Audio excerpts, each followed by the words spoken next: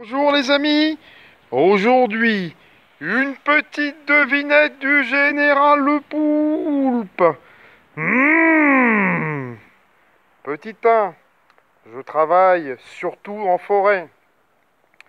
Petit 2, grâce à moi, on peut se chauffer, fabriquer des planches et du papier. Petit 3, je participe aussi à l'entretien de la forêt. Petit 4. J'utilisais autrefois une hache et une scie. Petit 5.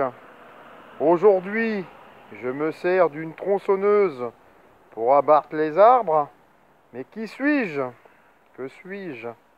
Mmh. Eh bien, je suis le bûcheron.